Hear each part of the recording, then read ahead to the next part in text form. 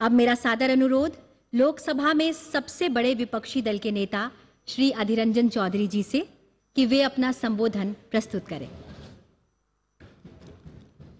Honourable vice president of India honourable speaker Lok Sabha honourable prime minister of India parliamentary affairs minister both the houses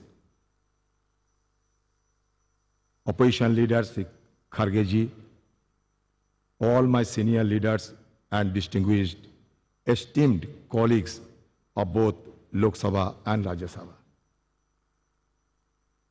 Having seized this opportunity without making any compunction, without mincing any word, I must state that I feel elevated and elated of having been stood in this podium, which had witnessed a caravan of historical episode and numerous numerous momentous events in the midst of the galaxy of not it, it will not be known by simply its architectural splendor but its illustrious legacy.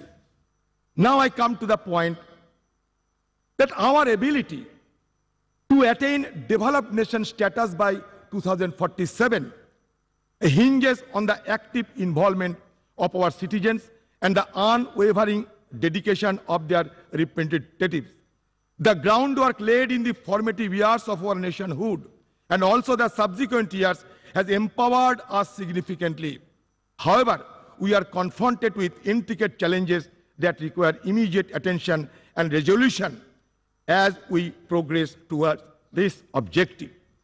I don't have any idea of what is called and how a country to be recognized as developed country by any designation. I do not have any idea of any global consensus is existed or not.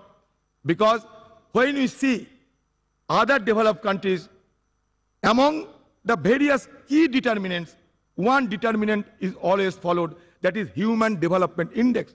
And insofar as Human Development Index, India has been lagging behind and we are ranked 131 out of 189 countries. At present, disconcerting reports reveal that the top 10% of India's population controls a staggering 77% of nation's total wealth.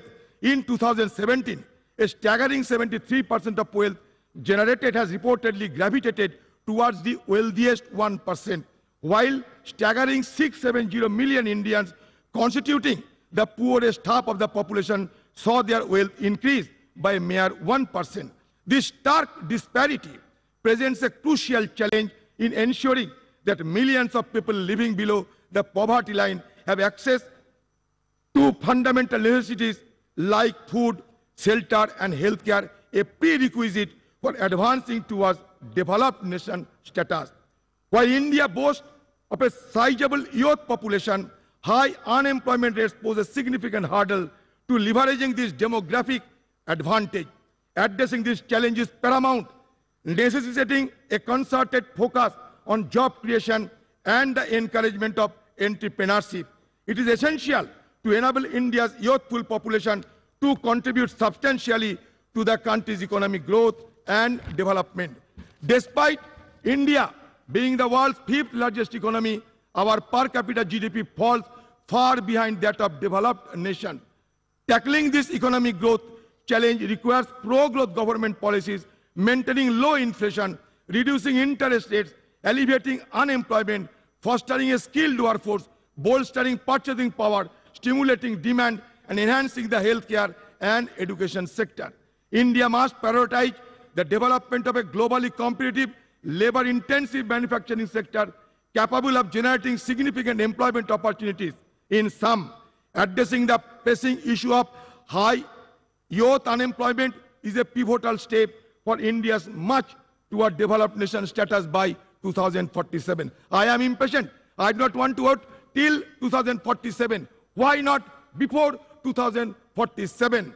To realize the vision of becoming developed nation, India must pursue a growth trajectory that is both comprehensive and sustainable. Economic growth must be all-inclusive benefiting every citizen. An overarching focus on human development encompassing access to healthcare, education and essential services must be implemented holistically. The challenge of transforming India into a developed nation by 2047 are substantial, encompassing poverty, infrastructure deficit, and environmental sustainability. By implementing a holistic strategy that encompasses infrastructure development, attraction of investment, enhancement of education, promotion of innovation, social welfare, environmental conservation, paying emphasis on manufacturing and integration of technology, India can pave the way for its emergence as a developed nation. It is only with unwavering determination, collective commitment, that the country can realize this visionary goal and unlock its potential on the global stage. I will conclude by saying that धरती सिखाते हमने सबको बोझ उठाना गगन सिखाते हमने ऊपर उठते जाना सूरज की लाली से सीखा जग आलोकित करना चंदा की किरणों से सीखा सबको पीड़ा हरना पर्वत ने सिखाई हमने दृढ़ संकल्प बनाना नदी सिखाए हमने आगे बढ़ते जाना। सागर की सागर की लहरों ने सीखा। दुख सुख में, दुख सुख सहे जाना। और तूफ़ान ये सिखलाते हैं आफत में। ना घबराना और आफत से टकराना। हम चाहते हैं कि ये सेपरेशन ऑफ़ पावर